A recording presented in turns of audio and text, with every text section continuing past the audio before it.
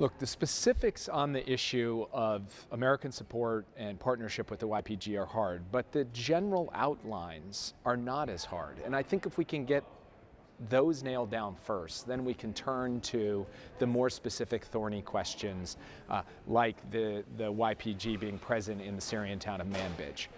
At a broader level, uh, Turkey should accept that the United States is going to continue to work with and provide support for the YPG in an ongoing fight to make sure that ISIS cannot retake territory in eastern Syria.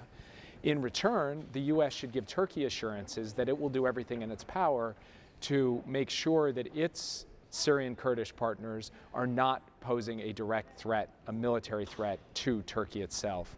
And second, I think that the United States has to say to Turkey, it's your job to reach out to Turkish Kurds to try to get back to the table, to get back to diplomatic negotiations. And for our part, we will work hard to separate the YPG and the PKK and encourage Turkish Kurdish uh, diplomatic talks. And then, third and finally, we need Turkey to recognize that at the end of the day, the Syrian Kurds need to have some confidence in their political future within a, uh, a, a post-conflict Syria, and that they need to be reasonable about the level of autonomy that they're prepared to accept, and we need to be transparent with the Turks about how we're helping to address their ongoing concerns. If you put those pieces together, alongside a continued fight against ISIS and a focus on the counterterrorism mission in Syria, I think you have the makings of a potential way forward with Turkey. Not that it's going to be easy, it's going to be very hard, but that is what we have to be focused on.